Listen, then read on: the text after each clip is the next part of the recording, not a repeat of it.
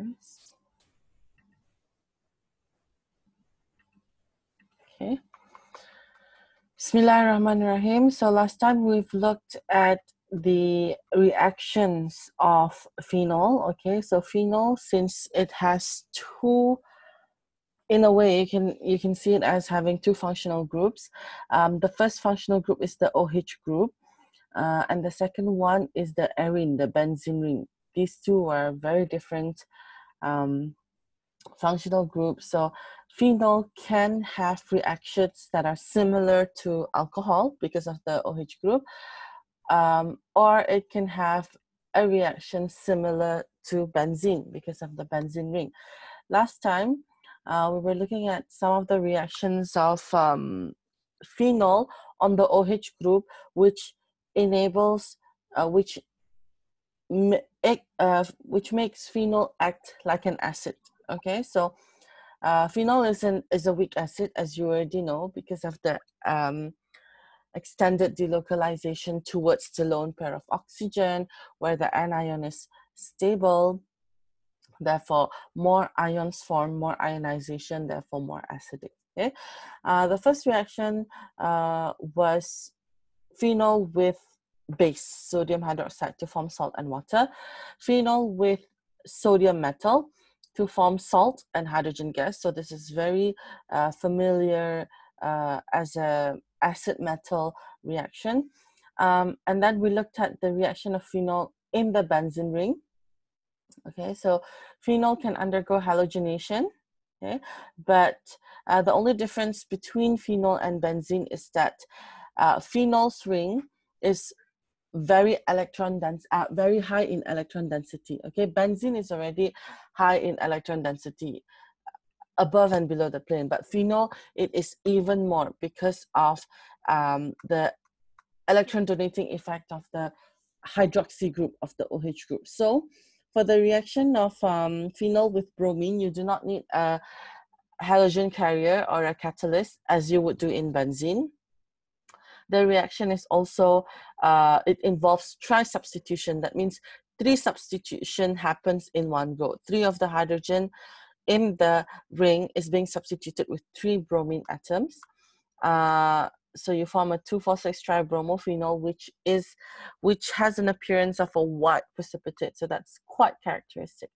Um, another observation that you would see is the bromine that is usually orange or brown in color uh, will turn colorless. Okay, so that shows that the bromine has gone to hydrogen bromide. So HBr is colorless.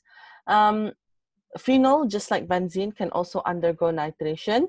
Uh, again, mm, because phenol's ring is so active, as uh, activated, um, you don't need a catalyst and you don't need to heat it to a certain temperature okay? For benzene you need to heat it at a certain temperature which is 55 degrees celsius and you need a catalyst which is concentrated sulfuric acid. For phenol no need the special conditions. At room temperature is fine. Uh, and uh, depending on the strength of the nitric acid that you use, if you use a dilute nitric acid, a gentler reaction will happen well, where mono substitution happens. Um, and as you know, OH group activates the 2,4,6 position, okay? With the concentrated nitric acid, tri-substitution will happen where all the 2,4,6 positions will be occupied, will be substituted by the uh, nitro group. Okay, so today is a new reaction that we're going to look at. It is still uh, the reaction in the aromatic ring, in the benzene ring. Um, sorry. Okay, so this is the reaction of phenol with diazonium salts. Now, diazonium salts is this uh, structure here. Okay, so it will be a little bit slower because I am using my laptop, not my iPad. So this is a diazonium salt. A diazonium salt is made up of an anion, okay, uh, diazonium chloride. So Cl minus is your uh, anion, okay. Cl minus is your anion, and is and the rest is your diazonium cation. Okay, diazo, uh, azo means um, nitrogen. So you have two nitrogen. Okay, um, another thing that you need to notice about this nitrogen is that uh, um, that it has a triple bond. Okay, uh, nitrogen with a triple bond and triple bond and plus Cl minus. Now, strictly speaking, that positive charge should actually be on this nitrogen okay because that nitrogen is the one that has four bonds and as we all know nitrogen is in group 15 uh, uh, sorry, nitrogen usually form three bonds, okay? It can form four bonds. Uh, in the next topic, you will see, but with a positive charge, okay? So that nitrogen with that positive charge, here, this nitrogen should have the positive charge. But I guess here, uh, you know, it's just showing that the positive charge belongs to the whole uh, cation, okay? So this is a diazonium chloride. Uh, it is a salt. It is made up of cations and anions.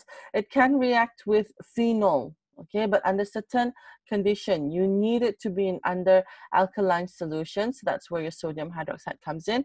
And it needs to be in a cold condition. So anything between um, 0 to 10 degrees Celsius. Okay, so you can just write down below 10 degrees Celsius, or if you write down 5 degrees Celsius, that's fine. Okay, so what happens is that uh, this is called a coupling reaction. Okay, couple.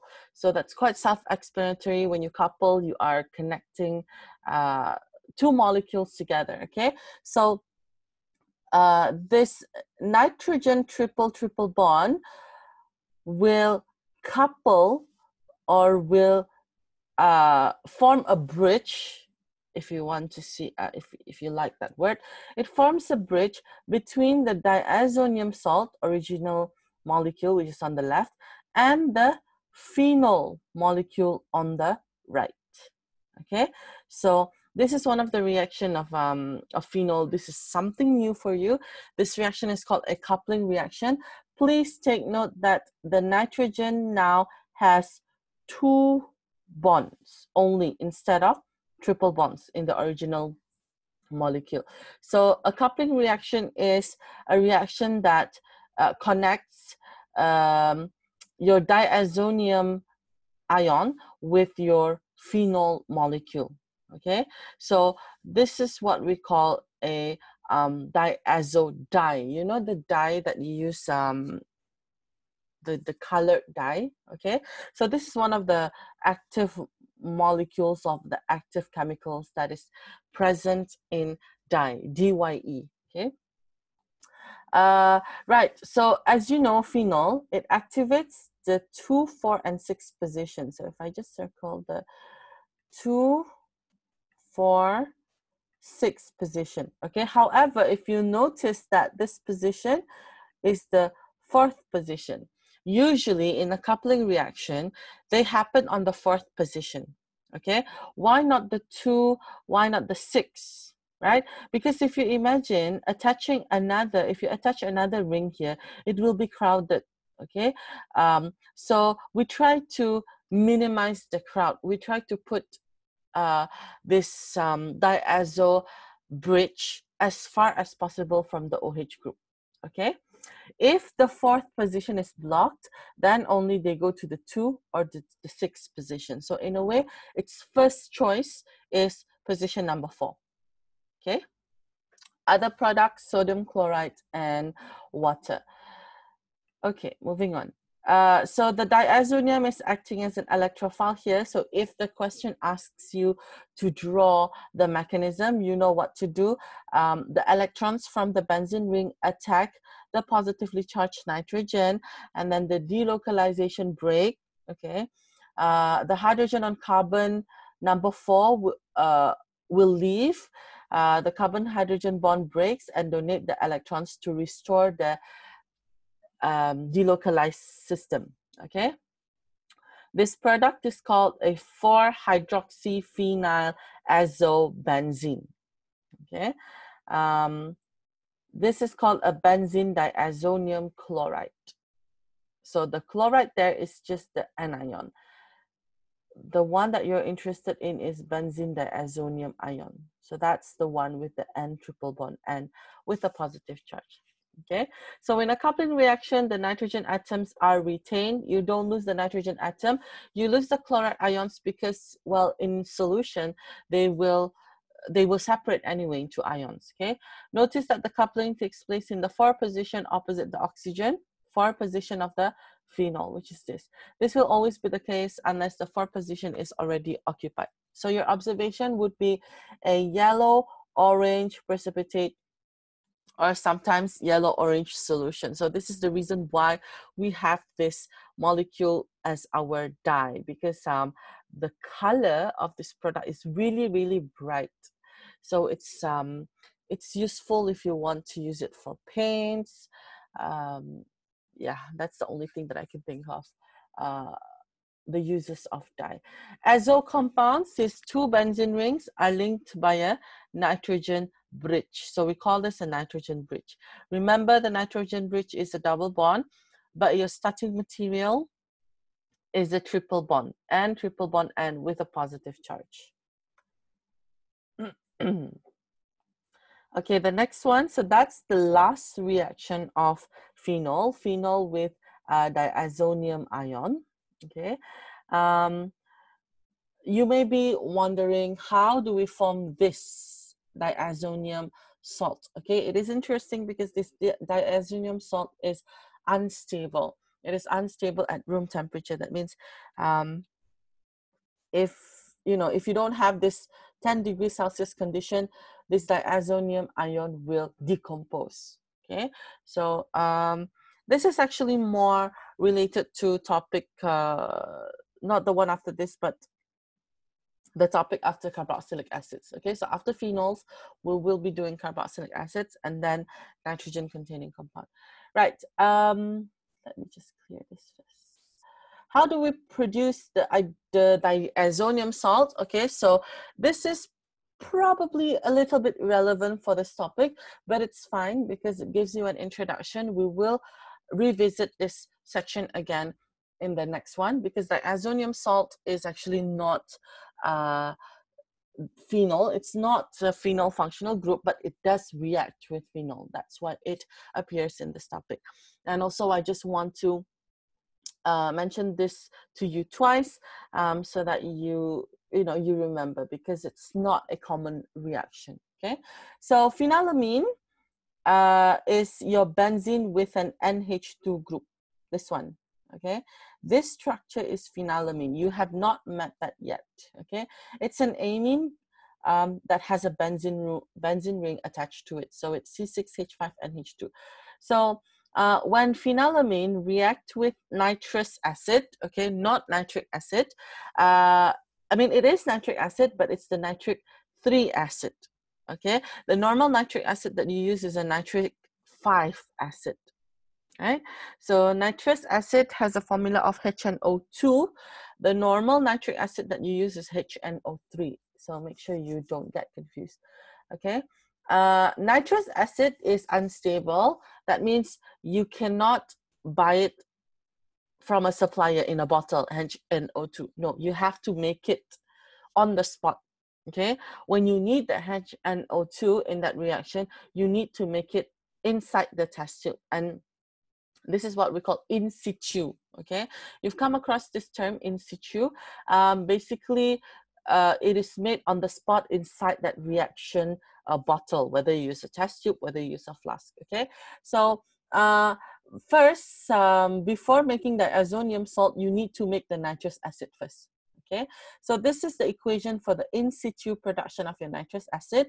You need sodium nitrate, no, sorry, sodium nitrite and ANO2 plus hydrochloric acid, okay? You just add this inside the test tube and then it forms the HNO2 nitrous acid. The nitrous acid will react with your phenylamine, okay? And then you form a side product, which is sodium chloride, right? So um, this is the overall reaction for the formation of the benzene diazonium chloride. Okay, do not get, get confused. This is the reaction for the production of nitrous acid, which is one of the reactant you need to produce your benzene diazonium chloride. Okay. Uh, so the overall uh, reaction is this is your structure of phenylamine. This is nitrous acid. Nitrous acid does not come in a bottle. You have to make it from sodium nitrate and HCl. Okay, and then you need HCl, which is convenient because you already have HCl anyway to produce the nitrous acid. Okay, so um, let this reaction happens. It needs to happen under uh, cold condition as well. Okay, can you please add to your um, equation? It needs to be cold. Um, how do I? Cold below 10 degrees Celsius. Okay, so add that to your equation. Because if you don't have it as a cold reaction, then as I said, your benzene diazonium chloride will decompose. Okay, so for this reaction, you need it to be cold as well. So can you please add that to your notes? This is also an electrophilic addition, uh, but you don't have to worry about the um, mechanism. Okay, uh, at least not now. Later on, you will you will have a look. Okay, moving on to the next slide. Okay, uh, let me just erase that. Preparation of phenol. Okay, um, now if you want to prepare phenol, it is not as it is not a one step process where you think you can just add, oh, why don't I just add OH into this benzene ring? Okay, the problem is your OH minus is not an electrophile. Okay, OH minus is a nucleophile, and you know that benzene rings only attract electrophile because benzene ring is already electron rich. Nucleophile is a species that can donate its lone pair and most of the time nucleophile will have a negative charge. So negative charge from the nucleophile will repel your benzene ring who is already electron rich. Okay, so that's why you cannot see this process as a one one step process. You don't just attach OH minus onto the benzene ring, benzene ring attack, and etc. No, it doesn't work like that. Okay. So you have to go through all these um, steps, yes, to form phenol. Okay. So let me have a look at your notes. Right. So let's go through it one by one. Um, first, you start with the benzene because that's the easiest. Um, benzene is readily available. Okay, so first you have to uh, let your benzene go nitration. Okay, nitration, you already know this. Concentrated nitric acid, your catalyst is concentrated sulfuric acid, and you need to heat it at 55 degrees Celsius. Okay, so then you attach your nitro group. Okay, it looks like oh there's nitrogen. Um, I want to I want to form phenol which is an OH why is nitrogen there? Okay hold on. Next is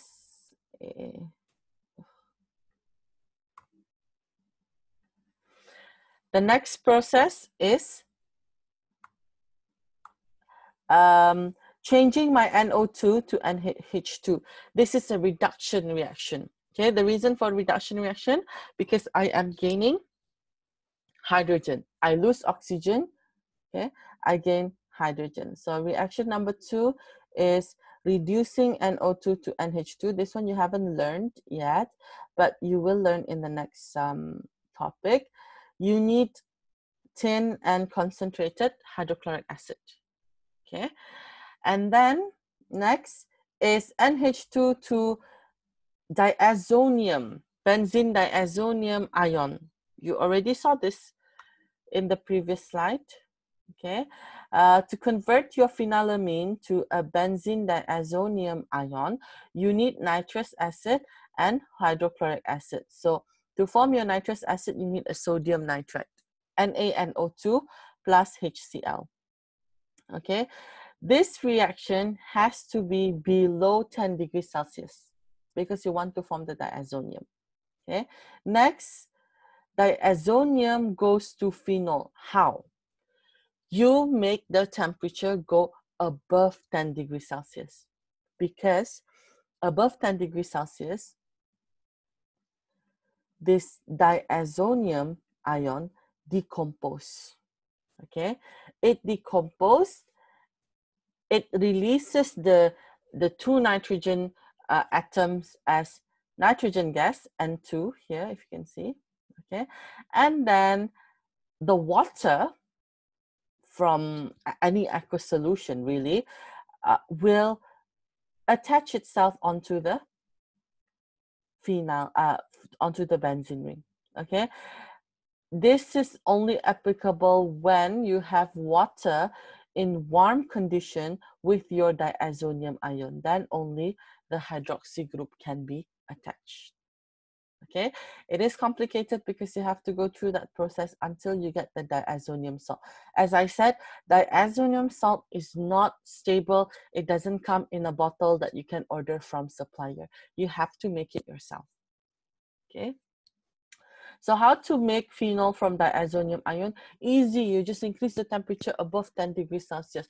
At room temperature, this reaction can happen, okay? As long as you have water, okay, H2O, and then the temperature is warm, anything above 10, right? So then the nitrogen is being released as nitrogen gas, N2, and then your hydroxy group will be attached to the benzene ring. Your side product will be HCl. Okay, so this is called hydrolysis. As you can see from the equation, um, hydro water lysis. The water is breaking the nitrogen bond be, uh, between the nitrogen bond and the benzene ring. Okay. Right. Um, any questions before I move on to uh, your exercise to give you some hints.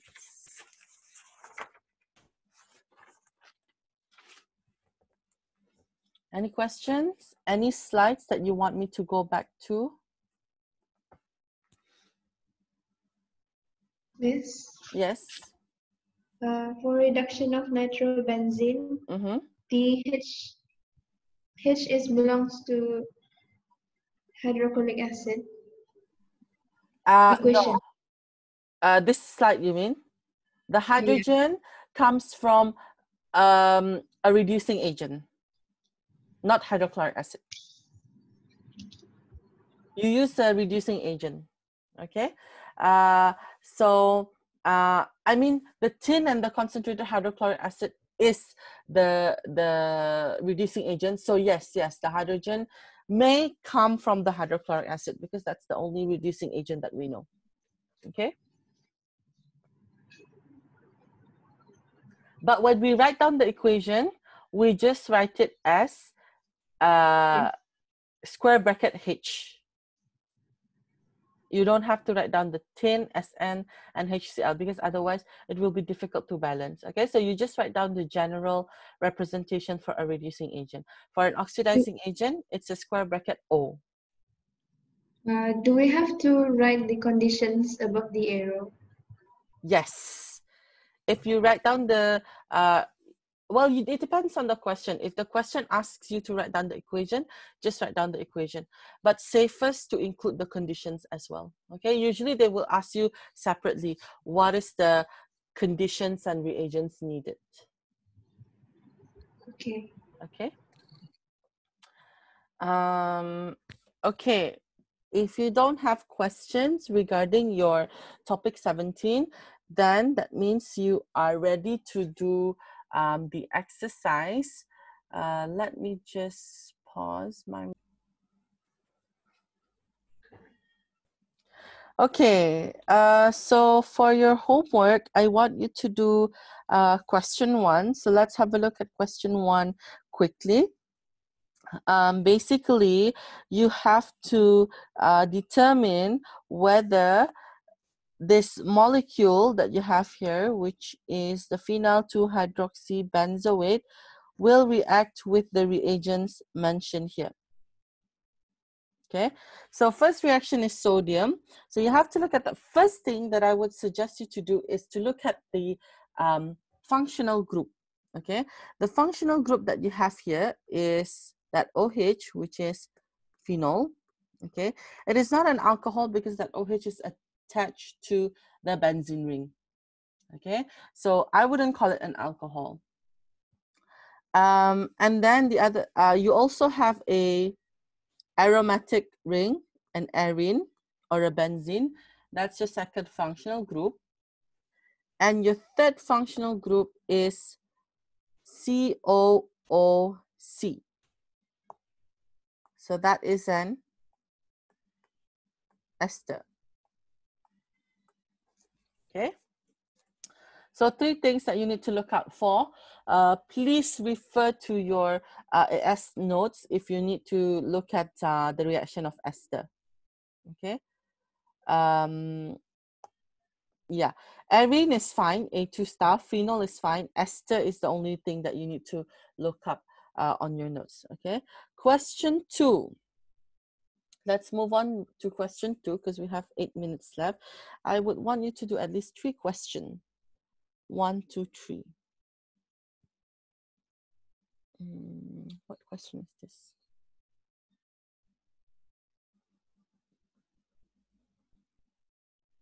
That's question four. Okay. Uh, question two. If you look at step one, you are attaching this structure. Okay. You're attaching an alkyl group. That is an alkyl group. You attach alkyl group to a benzene. So this process is called alkylation. Please look at your notes, okay, for alkylation. Um, step two is if you notice is that this ring, you are breaking all the double bonds, okay? So um, I'm not going to say the reaction, but when you break the double bonds into single bonds. Okay, so that's what's happening in step two. Step three, let's use a different color. Step three is you are attaching this. And you start from alcohol, you end up with an ester, COOC. I don't know if you can see that, but that is an ester group. So it's a hint. Alcohol plus something to form ester. Okay? So use that hints um, to help you uh, answer the questions below. Okay? Um, either compound A or compound B reacting with the following reagents. So looking at compound A and compound B. Okay, let's have a look at compound A and compound B you need to identify the functional group. Always start with identifying the functional group, okay? So in compound A, you have phenol, okay? Uh, the other functional group that you have is an alkyl benzene or alkyl arene.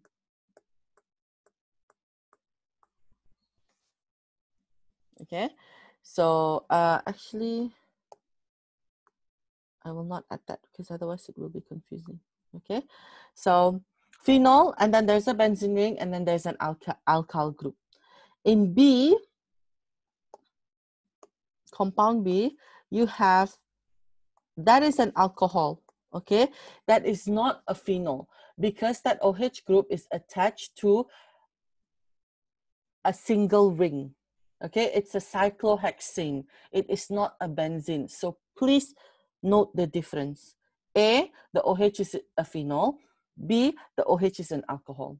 Okay, I hope you can uh, see the difference.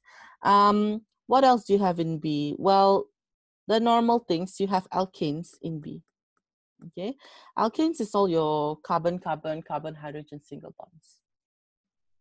So you will use these functional groups to help will they react with this reagent okay so please use your AS notes, especially for alcohol and alkenes, okay? So you can see how your A2 um, questions will involve a lot of um, AS syllabus. Okay, so that's question two. Uh, question three, the last one that I want you to um, do. Let's see. Uh, methoxybenzene, uh, sorry, methoxybenzene is um, it's not a functional group that you have um, learned. Methoxybenzene, methoxybenzene, and okay, so that's all. So basically, you just have to um, find a reagent where your phenol reacts with that reagent, but your methoxybenzene do not react with that reagent. Okay, so for this question, you need to find a reaction that is positive with phenol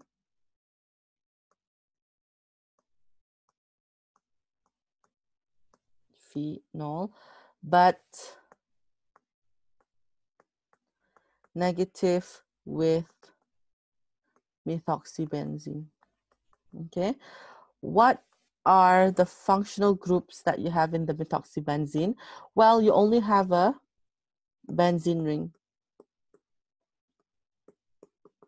Okay, that COCH3 is a single bond. This one, right?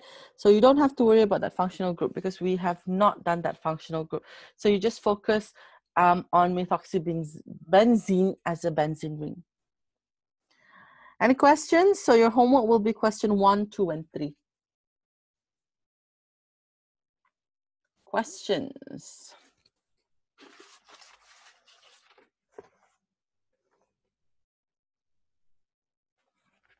Uh, Miss, Mm-hmm.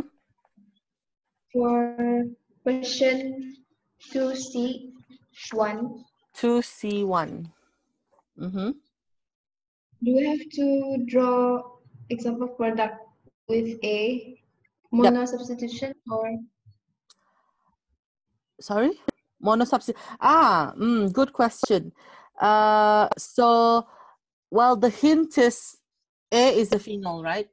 Phenol, when it halogenates, they undergo tri-substitution straight away. Okay? So you have to look at the uh, tri-substitution. But remember, this position, so phenol usually takes up the 246 position, right? But this position, the fourth position is not available, right? Do not kick that out. Just leave it as it is. So you just use whatever position is available, two and six. So in this case, position number four is not available. Okay. how about product B? Product B, um, product B is not a benzene ring.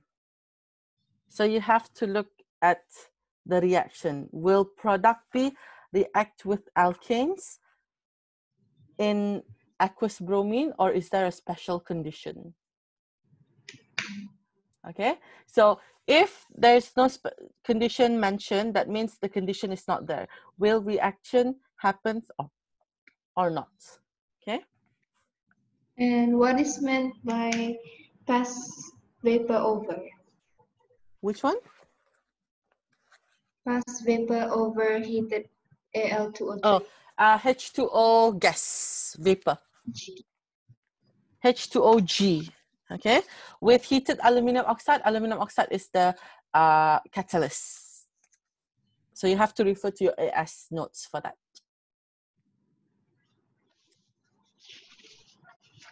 We have less than one minute left. Okay, so I think um, the session will cut us off um, anytime now. So if you have any questions, uh, please um, ask in the group. Okay, if you're shy, you can private message me, right?